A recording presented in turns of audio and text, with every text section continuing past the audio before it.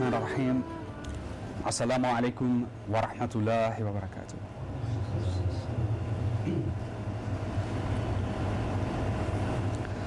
لا حول ولا قوة إلا بالله All the knowledge comes from Allah.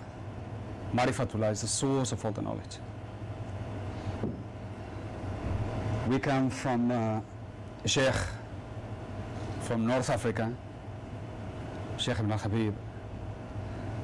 I'm from Sheikh Al Faituri. Our tradition is the tradition of uh, Tasawwuf, of the Shadhilis and the Qadiris,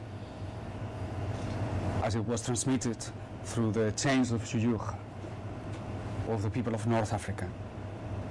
This line, line of knowledge arrived to the West with Sheikh Qadir Sufi, and we are here all gathering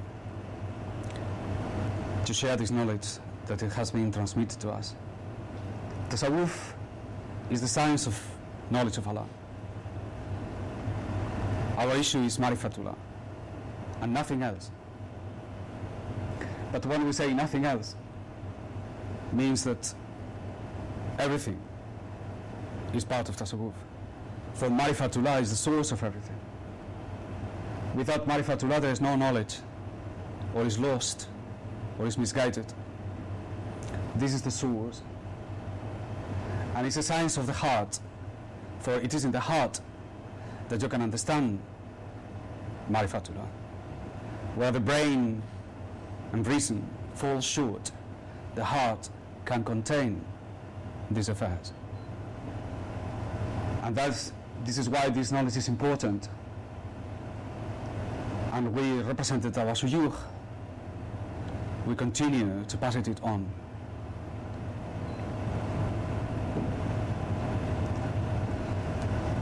Over the next two days, I want to speak to you about uh, two words. One is imaret, and the other word is guilds. So today I will start with the word imaret. And the source for this is Halil Inalcik, by far the best Ottoman historian of the classical period. And um, I'm going directly to a chapter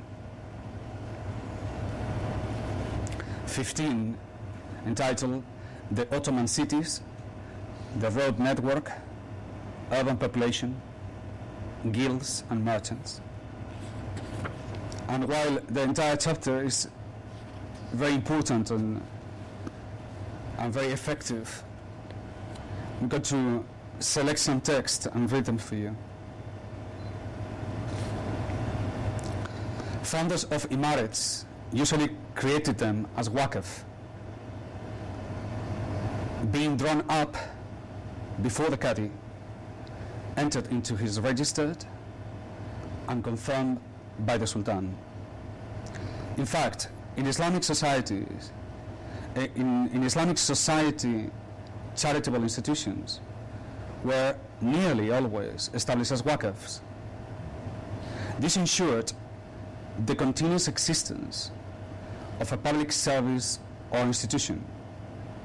Since a Waqf is devoted in perpetuity, the profits from any source to some charitable purposes without, without impairing the capital.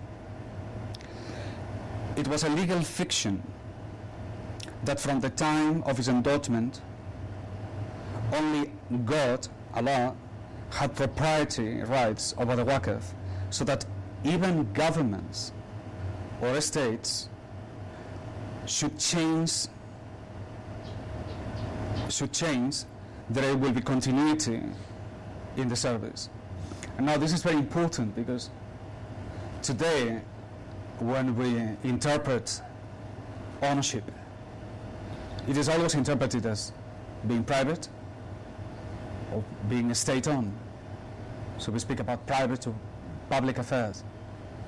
Policies are defined as privatization when they go into the hands of private individuals, or state-owned or public when they refer to matters that they are directly under the administration of the government. But in Islam there is a third element that is absent or nearly absent in our present affairs is the property of Allah. And this is the waqf. And the role of the waqfs in Muslim societies is immense. And as, as we will see here, it represents a complete different way of understanding ownership, where there is not only private, not public, but Allah's own.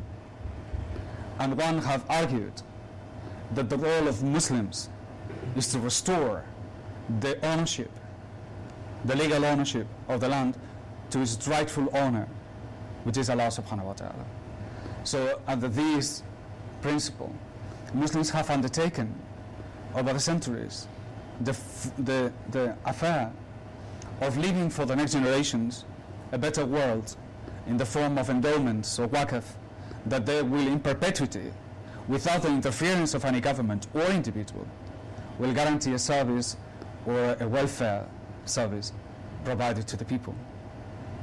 And while this society uh, entertains itself passing debt to the next generation, so the next generation will pay for the good living of the present people.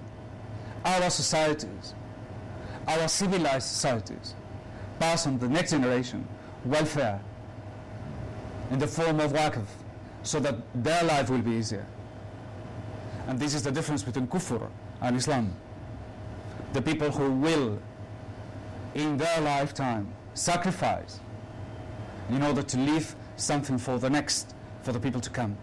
Instead of this generation, that they live lavishly in order to leave the next generation to pay for this lavish way of living. This, of course, being at the very heart of the trap of the system that we call riba. And this is the criminal mindset that these people have set upon us. And uh, there is no, no, no Muslim country without national debt, and plus, national, plus uh, private debts and, and, and personal debts, etc.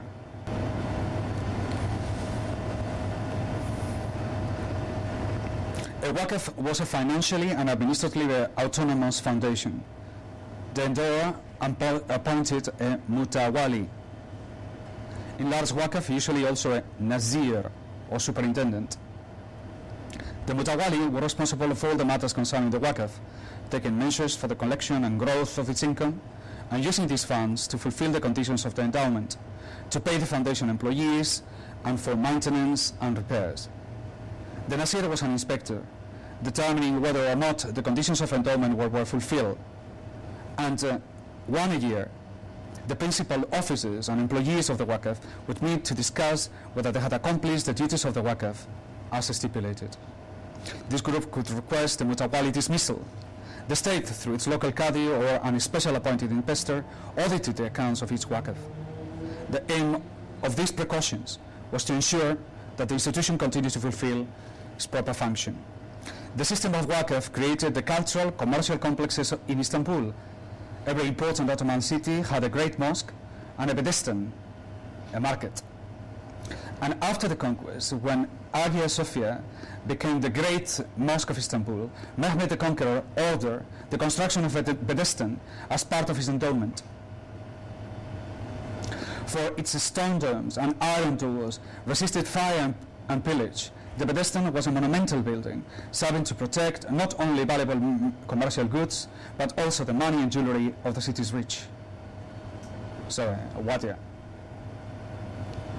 They had protection for the treasures. Its door, doorkeepers, night watchmen, and brokers were under government control.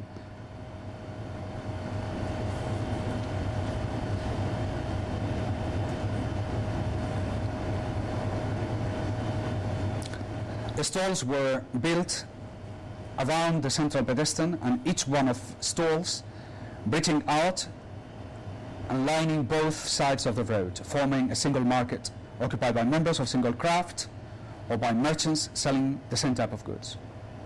These markets were usually roofed with stone bolts, as in the market at Istanbul, or else they stayed as lanes of open stalls shaded by trees.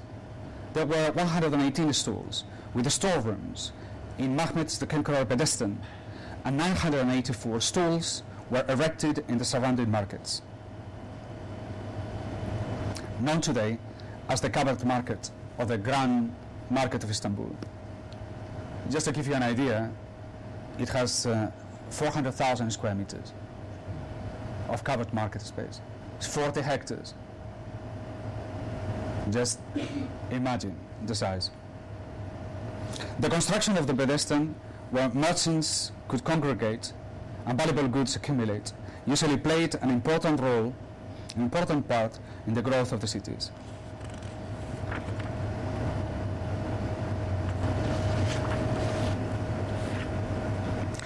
The construction of imarets,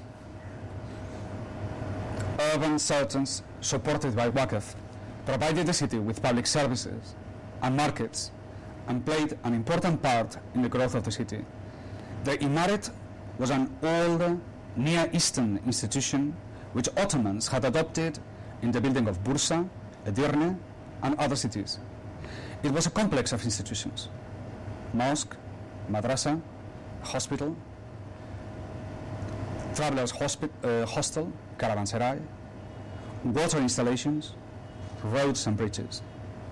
Founded as Waqf, and the institutions which provided revenue for the upkeep, such as the inn, the market, the caravanserai, the bathhouse, the mill, the dye house, the slaughterhouse, and the soup kitchen.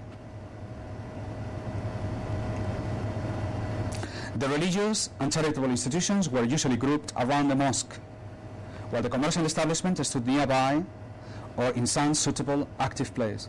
These imarets were an essential part of the plans of an Ottoman towns, giving them their own peculiar character. And until recently, they dominated the skyline of the cities and towns in Anatolia and the Balkans. Eh, what is important about the, the Imaret? First, from a point of view of city planning, is that at the heart of every city, what you had is these Imarets. There was no way a city could function as a city without these institutions. The most important of which were the mosque in the first place, and then the market. And then all the other institutions, like the hospital and the madrasa, and then the hammam, and the slaughterhouse, and the soup kitchen, and so on. These were all part of a complex mosque and market, the imaret. Without these, there will be no city. Now, it is important to recognize that these institutions were not government owned, and these institutions that were not private. These institutions belong to Allah subhanahu wa ta'ala.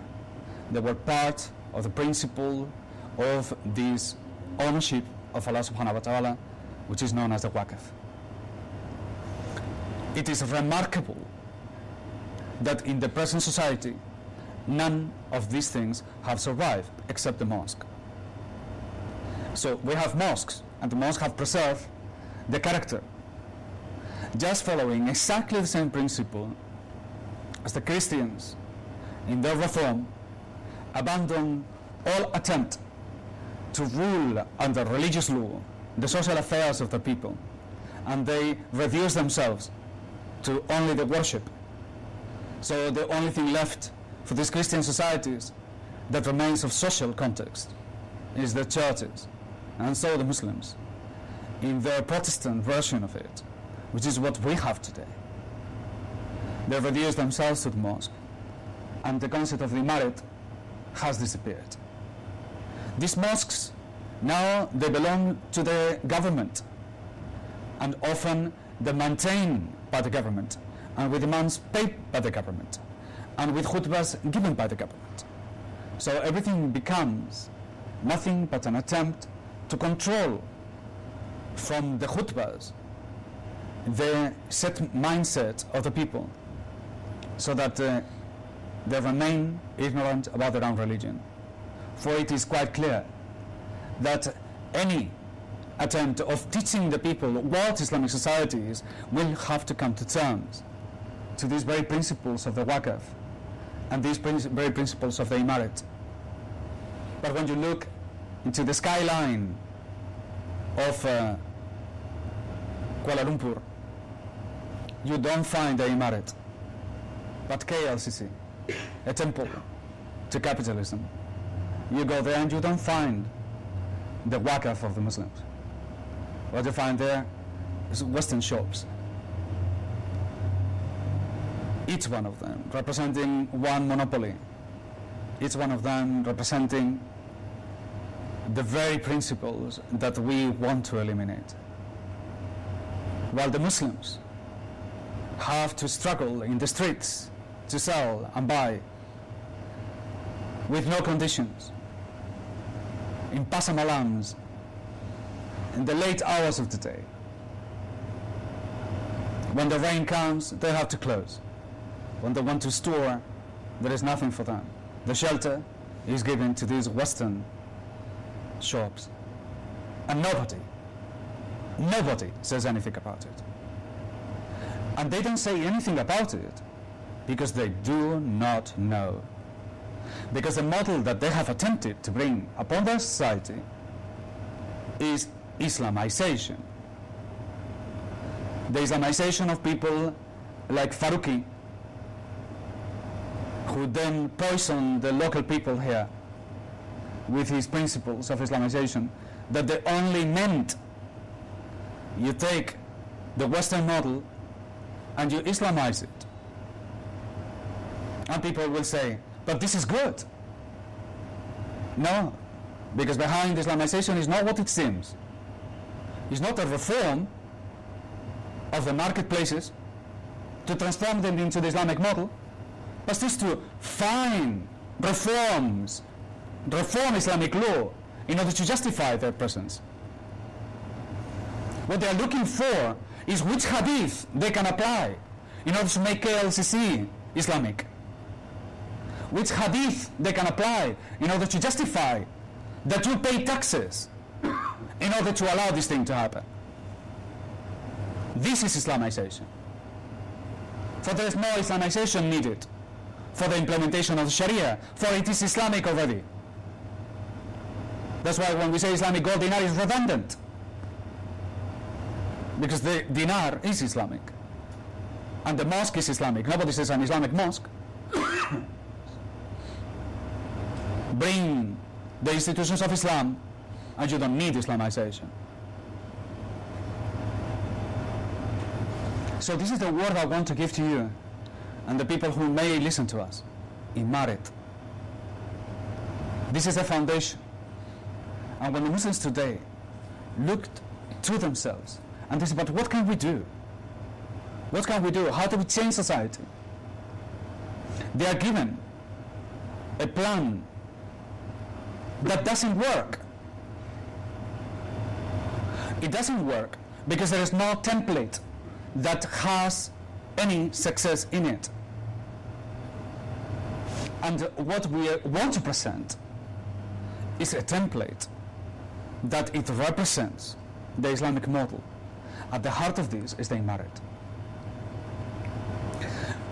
As a principle of urban design, and urban design is the principle of trying to bring the future of the city into a more efficient way of functioning. In other words, to elevate the condition of the people and to lift them up. And this is the concern of every local government throughout the world.